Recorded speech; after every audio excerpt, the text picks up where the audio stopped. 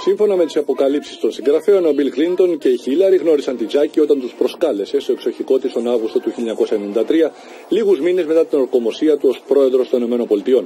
Εκεί, πάντα σύμφωνα με τους συγγραφείς, η Τζάκη έδωσε συμβουλές στη Χίλαρη πώς να αντιμετωπίσει το γεγονός ότι είναι η σύζυγος ενός γοητευτικού πολιτικού. Ένα απόγευμα μετά τη συνάντηση αυτή, ο Αμερικανός πρώην πρόεδρος επισκέφθηκε την Τζάκη στο διαμέρισμά της στο Μανχάταν. Όπως διηγήθηκε εν συνεχεία, η Τζάκη σε φίλη της έδωσε πραγματική μάχη για να ξεφύγει από τα χέρια του Κλίντον, ο οποίος της ρίχθηκε. Σύμφωνα με τους συγγραφείς, η Τζάκη κολακεύτηκε από το φλερτ του κατά 17 χρόνια νεότερου του Μπιλ. Τότε η πρώην πρώτη κυρία ήταν 60 χρόνων.